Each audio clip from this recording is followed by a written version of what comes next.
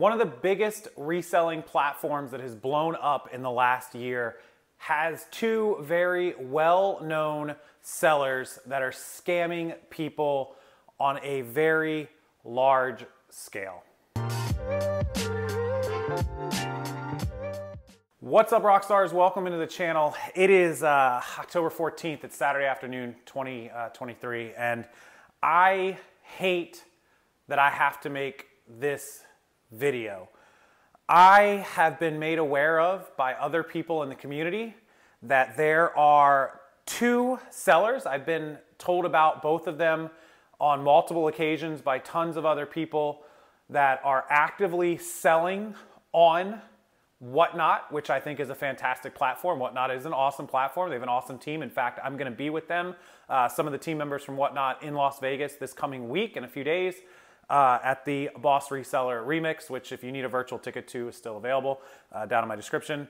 But I've been made aware over the last few months that two very well-known figures in the YouTube, social media, content creating arena and known sellers – both of which, not shockingly, have been suspended from, banned from, permanently removed from, or some other aspect of removal off of eBay or other platforms in the past. Uh, not to be uh, shocking to anyone, but it has come time that I say something out loud to the community, and I'm going to do that.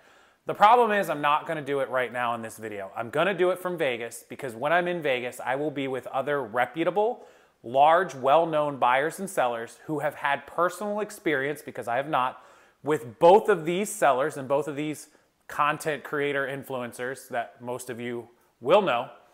And will be able to give us the details, the photos, the videos, the receipts, and all the evidence proving exactly what scheme and what scams have been going on, what is going on, and it will give me time to build all that into content I can put into a video. So, Today is Saturday, October 14th.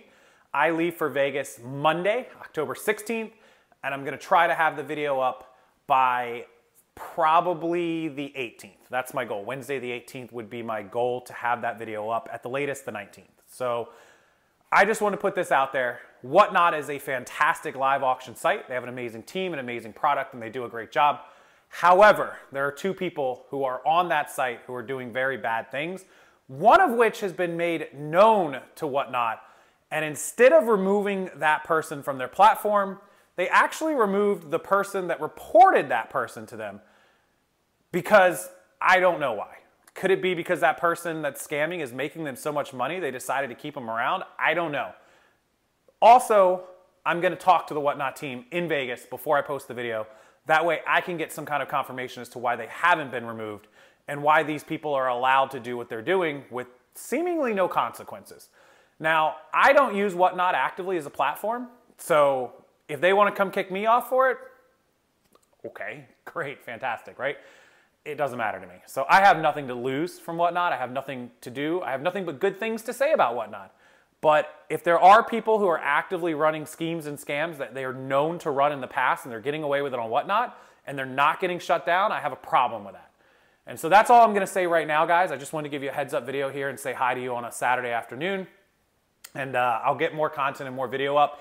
If you have been schemed or scammed by anybody that's well known on Whatnot, please email it to me, rockstarflipper at gmail.com. The more evidence and the more receipts and the more stories I get, the better this is going to go over. So please, rockstarflipper at gmail.com, send it to me. And it's high time that there are consequences for actions and consequences for a history of bad behavior. And if there's anybody that can do it and who isn't scared of anybody else or isn't scared of lawsuits or lawyers or anything else, I would be that guy. I promise you. The two people I'm talking about, don't let your guilty conscience creep in there and come for me because it's not going to end well for you. You know who you are. Both of you know who you are. Him and her know who they are. I'll see you guys in Vegas.